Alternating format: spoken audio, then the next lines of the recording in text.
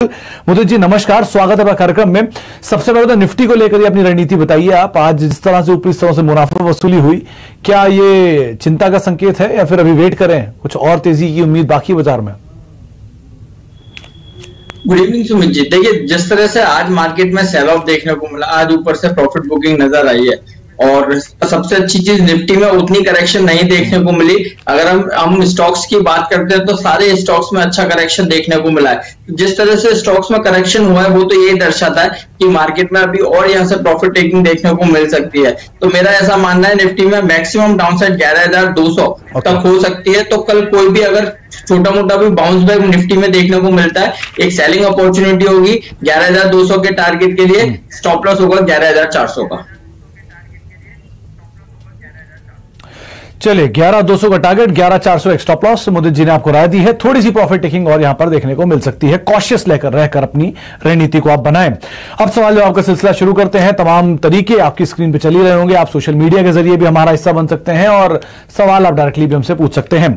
शर्मिला आचार्य कोलकाता से हमारी पहली दर्शक है जो कि हमारे साथ मौजूद भी है। शर्मिला जी नमस्कार। नमस्कार। शर्मिला जी आप सुन पा रही है? हाँ जी नमस्कार शर्मिला जी क्या सवाल है आपका? बताइए। नमस्कार।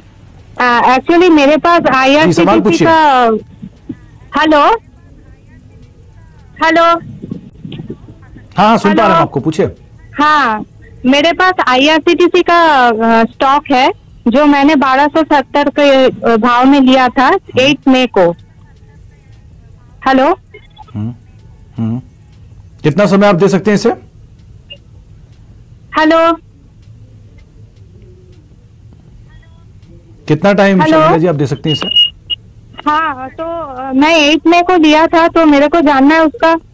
ओएसएस अभी चालू हो रहा है तो मेरे को क्या करना चाहिए? उसमें प्रॉफिट बुक कर लेना चाहिए या क्या करना चाहिए? Okay okay okay Mudit ji IRCTC OFS की बस बाज़ार में क्रिएट हो चुकी है 1270 पे नहीं खरीदारी है। फ़िलहाल तो मुनाफा है। 109 रुपए पर शेयर का नई ट्रेन के आने से इसके लिए ट्रिगर भी बनेगा। क्या किया जाए? लेकर निकल जाए फिर बनी रहे?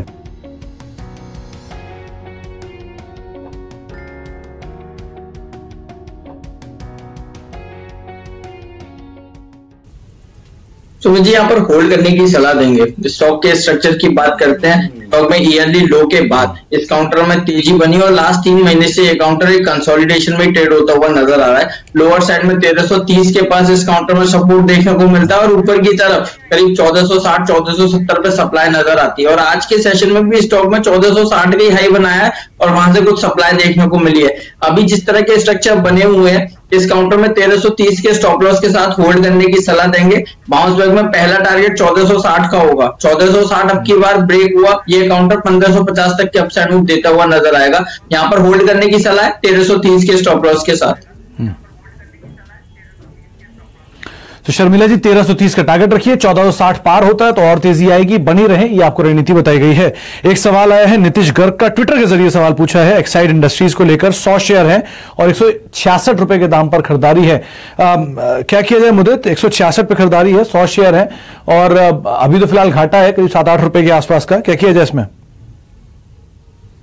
देखिए ये कहूँगा ऑटो ऑटो एंसिलरीज लास्ट अगर अगर हम 10 दिन का स्ट्रक्चर देखते हैं तो पूरी तरह से टर्न हो चुके हैं और हाई के बाद से काफ़ी करेक्शन देखने को मिला। उसी तरह का इम्पैक्ट एक साइड में नज़र आ रहा है। सारे इंपॉर्टेंट मूविंग एवरेजेस के नीचे ये काउंटर चला गया और जिस तरह का अभी मार्केट का सेटअप है ऑटो ऑटो सेक्टर का पूरी तरह से सेटअप बना हुआ है। मुझे लगता है इस काउंटर में यहाँ से करेक्शन देखने को मिल सकती है। तो इसलिए एक्साइड इंडस्ट्रीज़ से एग्जिट करने की सलाह दे रहे हैं। लोअर साइड में हमें एक सौ पैंतालीस रुपए तक की डाउन साइड एक्साइड में नज़र आती है। तो यहाँ पर एक्साइड को एग्जिट करने की सलाह है।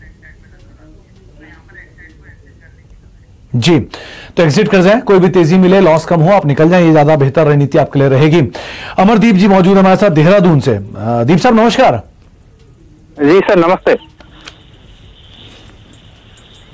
हेलो जी सवाल पूछिए। सर मैंने एनआर बियरिंग के ninety two point seventy five के लॉट से हंड्रेड लॉट खरीदे हैं सर। भाव पे। और अभी मुझे लग रहा है कि वो अच्छा। कुछ दिनों से मैं देख रहा हूँ दो तीन दिनों से। Eighty four eighty five something इसी के अराउंड में जो स्टॉक है वो घूम रहा है। तो अभी मुझे तो फ़िलहाल आठ से नौ रुपए के आसपास का लॉस दिख रहा है उस पर तो अब मुझे क्या करना चाहिए मैं जानना चाह रहा था क्या इसको होल्ड करूँ। जी। मुदित इनका सवाल एनआरबी बियरिंग पर है। वैसे तो हायर लेवल से काफ़ी टूटा। दो सौ बीस रुपए के हाइज होते थे वहाँ से नब्बे रुपए आ चुका है और अब एक दायरे में कामकाज कर रहा है काफ़ी समय से। ग्यारह रुपए का लॉस इन्हें रफली हो रहा है। क्या किया जाए अब? आ, बने रहें निकल जाए क्या करें इसमें? सुमित जी एग्जिट करने की सलाह देंगे।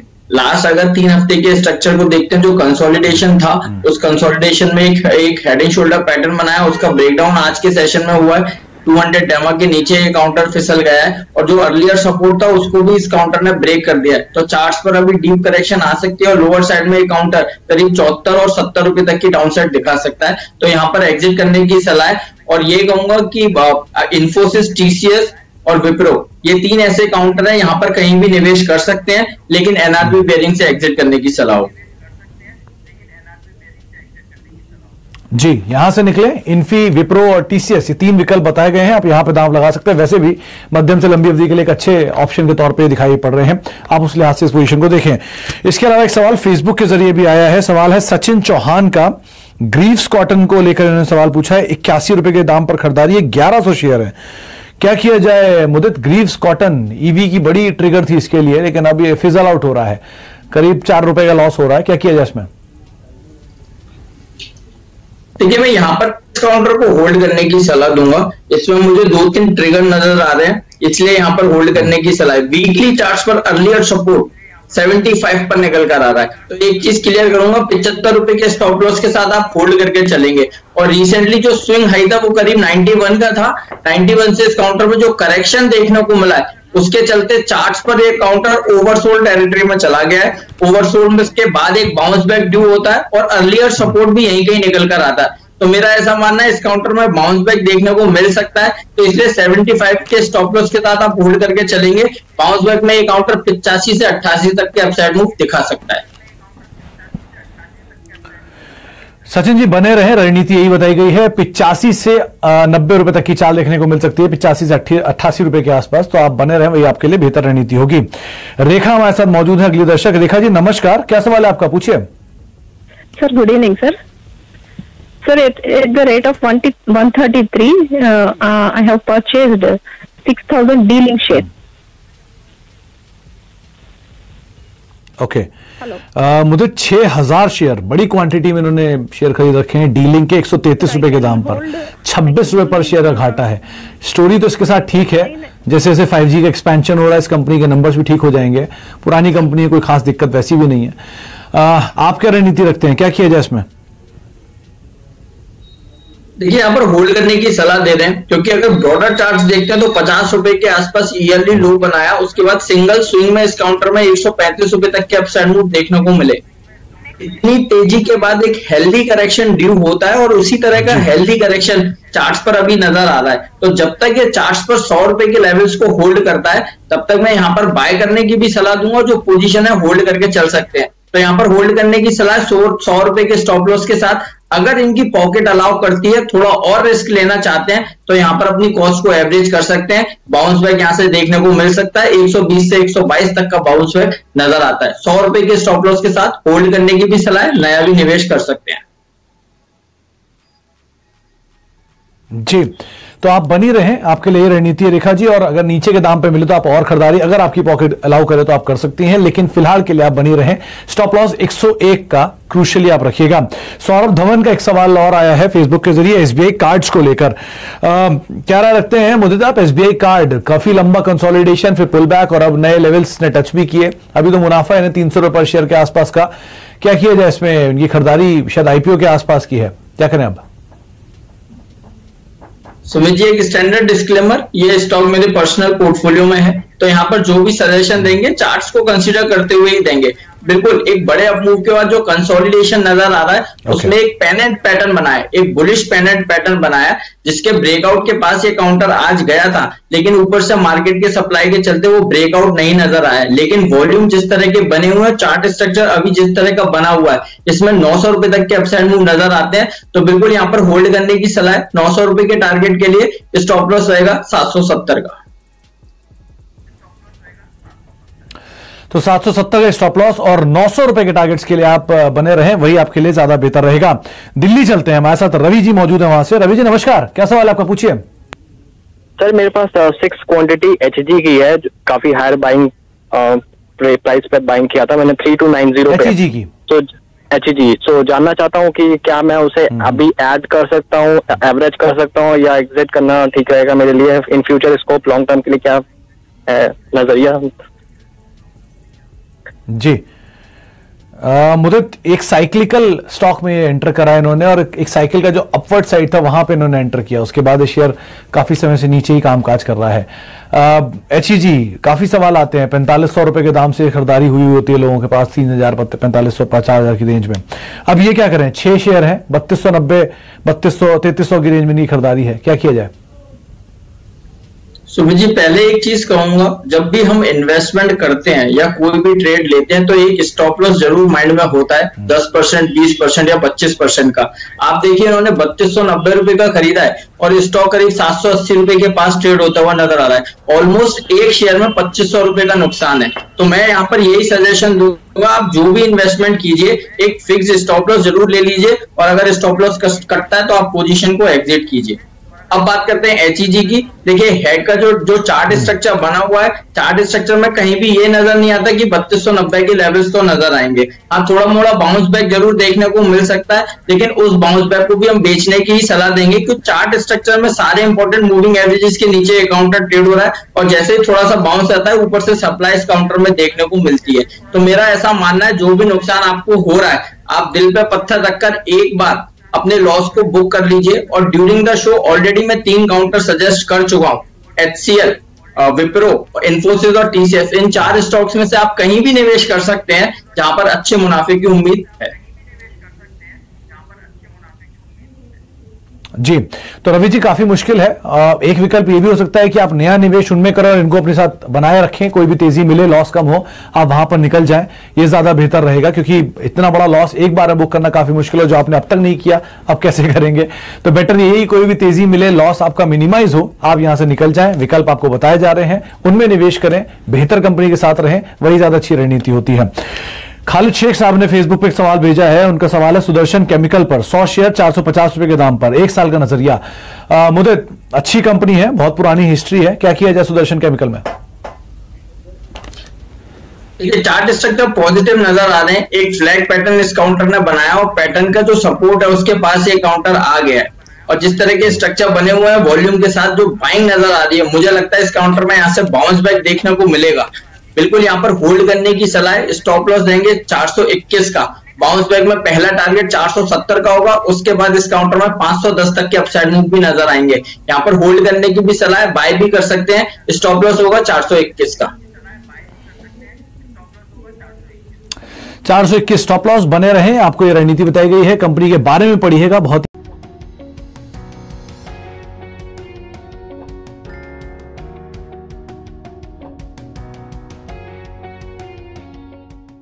कंपनी है और अच्छे नंबर्स हैं इसके तो उस हिसाब से आप इसमें बने भी रह सकते हैं और इसके बारे में पढ़िएगा ज़रूर। खैर अब हमारे साथ जगदीश मौजूद हैं भटिंडा से। जगदीश जी नमस्कार। क्या सवाल आपका पूछिए। नमस्कार जी। मेरे चार या छह रहे अपने मैक्स हेल्थ के। एक तीन के भाव में लिए ओके मैं एक साल का मैक्स हेल्थ केयर बहुत पुरानी हिस्ट्री तो इसकी नहीं होगी। 110 रुपए के भाव पर आ चुका है 130 पे इन उनकी खरीदारी है 20 रुपए पर शेयर घाटा है, घाटा बड़ा है। क्या किया जाए? देखिए मैक्स हेल्थ केयर को यहाँ पर होल्ड करने की सलाह दे रहे हैं। बिल्कुल यस बहुत ज़्यादा चार्ट स्ट्रक्चर नहीं है, लेकिन जिस तरह की ट्रेडिंग एक्टिविटीज़ अभी तक नज़र आई है, उस लिहाज से लग रहा है इस काउंटर में यहाँ से कुछ बाउंस बैक देखने को मिल सकता है। तो होल्ड करके चलेंगे। स्टॉप लॉस रहेगा 104 का। 104 पर अर्लियर सपोर्ट नज़र आ रहा है, इसलिए 104 अगर कहीं भी ब्रेक होता है तो डीप करेक्शन देखने को मिलेगी। हाल फ़िलहाल 104 के स्टॉप लॉस के साथ होल्ड करने की सलाह है। तो जगदीश जी, आपके लिए राय यही कि आप बने रह सकते हैं इसके अंदर, और 104 रुपए का एक स्टॉप लॉस यहाँ पे मेंटेन करें। बहुत पुरानी हिस्ट्री नहीं है तो नंबर्स पहले आ जाने दीजिए, उसके हिसाब से ही अपनी रणनीति आप बना सकते हैं। एक ब्रेक का वक्त हो गया, लेकिन ब्रेक पे जाने से पहले एक सवाल, छोटा सा और लेते हैं। सवाल आया है औरबिंदो फार्मा और सन फार्मा पे, नवनीत कुमार का ट्विटर पे। क्या किया जाए मुदत इन दोनों स्टॉक्स में? ये सबसे पहले औरो फार्मा की बात करेंगे। औरबिंदो फार्मा में करीब हायर लेवल से कुछ प्रॉफिट बुकिंग ज़रूर देखने को मिल रही है, लेकिन अपने सपोर्ट के पास ये काउंटर आ गया है और हमारा ऐसा मानना है, जब जब मार्केट में करेक्शंस देखने को मिलते हैं फार्मा यानी डिफेंसिव काउंटर्स ही यहाँ से परफॉर्म करते हुए नज़र आते हैं तो बिल्कुल सपोर्ट के पास ये काउंटर आ गया है तो औरबिंदो फार्मा जिस तरह के स्ट्रक्चर बने हुए हैं, अभी होल्ड करने की सलाह दे रहे हैं 760 के स्टॉप लॉस के साथ। वहीं दूसरी तरफ़ आपने सनफार्मा की बात करी, बिल्कुल सनफार्मा का भी स्ट्रक्चर पूरी तरह से सेम नज़र आ रहा है। ये ऑलमोस्ट ईयरली हाई के पास इस काउंटर में सप्लाई देखने को मिला है, लेकिन चार्ट्स पर सारे इंपॉर्टेंट मूविंग एवरेजेस के साथ ऊपर ही ये काउंटर ट्रेड होता हुआ नज़र आ रहा है वॉल्यूम के साथ लोअर लेवल से कुछ बाउंस बैक नज़र आ रहा है। तो सनफार्मा भी यहाँ पर होल्ड करने की सलाह दे रहे हैं। स्टॉप लॉस होगा, चार सौ नब्बे का। जी तो 490 का स्टॉप लॉस और बने रहे, ये आपको रणनीति बताई गई सन फार्मा के मद्देनजर। गुड़गांव चलते हैं, वैभव जी हमारे साथ मौजूद है। वैभव जी जल्दी पूछिए अपना सवाल। Hi good evening to all sir मेरे पास 700 शेयर है मिर्ज़ा इंटरनेशनल से एट द रेट ऑफ़ 60 और दो वीक हुए लिए हुए and counter is following every day so just wanted a suggestion okay Vaibhav ji एक एक इंफॉर्मेशन इससे रिलेटेड आपको दे देता हूँ कि यूके के शायद 70 परसेंट या 80 परसेंट जूते जो हैं, वो मिर्ज़ा इंटरनेशनल के ही पहनाए जाते हैं वहाँ पर। एक बहुत बड़ा मार्केट शेयर वहाँ पर ओन करते हैं। कानपुर बेस्ड कंपनी है एक्सपोर्ट्स में मेजरली काम करते हैं। रेड टेप के नाम से इनके जूते आते हैं।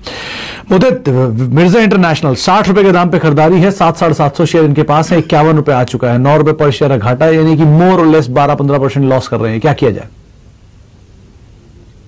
सुमित जी होल्ड करने की सलाह दे रहे हैं मार्च लास्ट में इस काउंटर में रिवर्सल कैंडल बनाया था। वहीं से इंडिकेशन था कि इस काउंटर में तेज़ी बनेगी। और उसके बाद लगातार ये काउंटर एक हायर राइज हायर लोज में ट्रेड होता हुआ नज़र आ रहा है। एक राइजिंग चैनल की जो सपोर्ट लाइन है वो अड़तालीस रुपए के पास निकल कर आती है। तो इनको यही कहूँगा, यहाँ पर होल्ड करके चलिए। स्ट्रिक्ट स्टॉप लॉस रहेगा 48 का।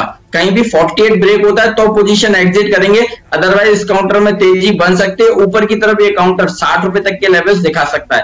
होल्ड करने की सलाह स्ट्रिक्ट स्टॉप लॉस रहेगा 48 का।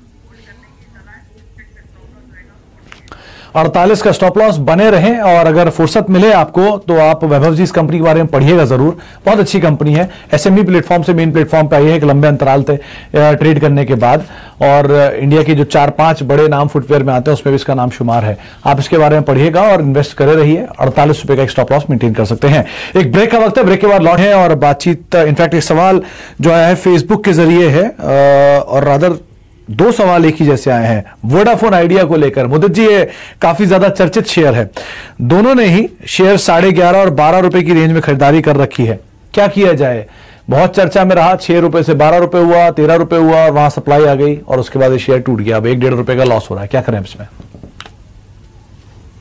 देखिए हाईली वोलेटाइल शेयर है तो इसमें टारगेट और स्टॉप लॉस भी बड़े बनेंगे।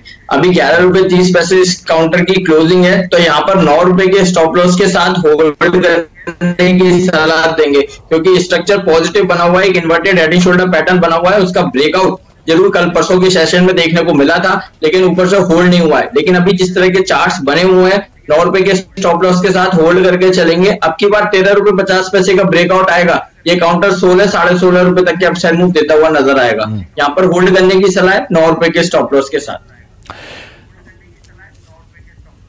तो बने रहे नौ रुपए का एक स्ट्रिक्ट स्टॉप लॉस मेंटेन करें और खबरों पर नज़र रखें क्योंकि बहुत ज़्यादा वोलेटाइल है बहुत सारी खबरें आती हैं उस लिहाज से इसके अंदर आप रणनीति बना सकते हैं।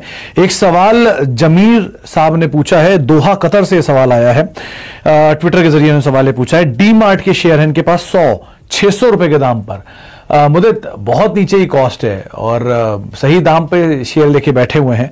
अब क्या किया जाए? अभी तो बने ही होंगे लेकिन आगे क्या और ऐड करें नीचे के दाम पे मिले क्या करें इसमें?